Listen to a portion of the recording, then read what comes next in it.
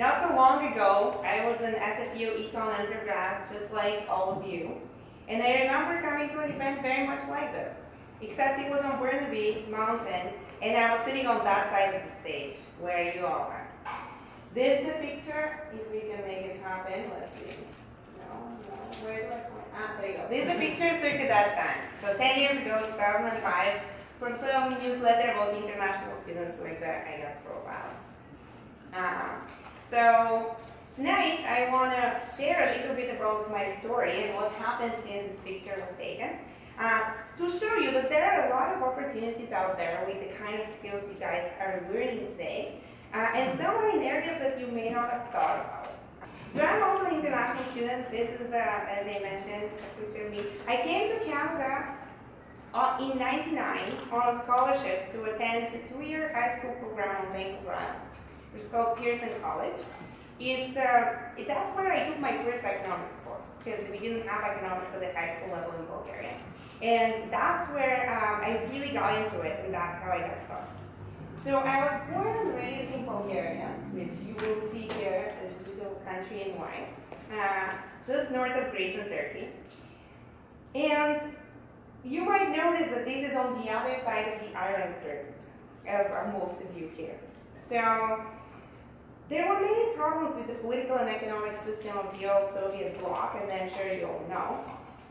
But when I started grade one, all my friends' parents had jobs, they all had decent housing, they had food on the table, and all their grandparents had a secure retirement.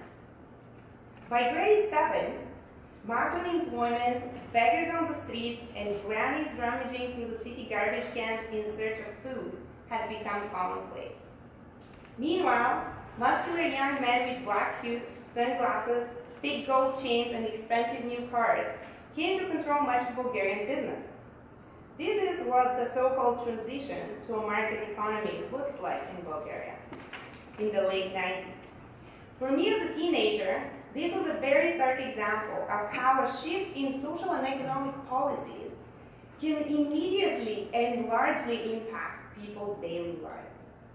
You saw it change almost overnight. When I came to Canada and started studying economics, it really provided me with a framework to understand what was happening in my home country. Everything made a lot more sense when you thought about misaligned incentives, supply and demand.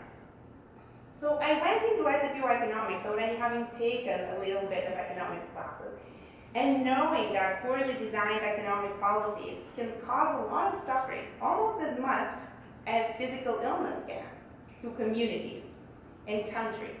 So what I wanted to do at SFU Economics was to understand more about how the economy works so that I could help fix some of those poorly designed policies. Because surely, if you can make things worse with a policy shift, you should be able to make things better with a policy shift.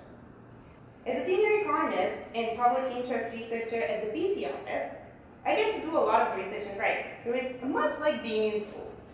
I love my job because I get to do research about things that matter and that are happening here in our communities. And my research doesn't just sit on a shelf gathering dust. Our reports are written in accessible language, they are available for free online, and they're widely read and circulated. I also get to share my findings and their policy implications with the community at public events and through the media. I blog at our blog called policynote.ca, which you should check out. And I'm frequently called to provide media commentary on current economic and social policy issues facing us in Canada.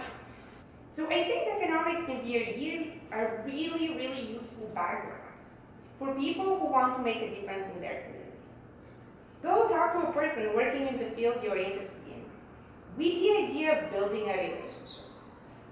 Seek mentorship, seek fellowship, even from people who are not traveling exactly the same path as you. If they're willing to help you, that will be very useful.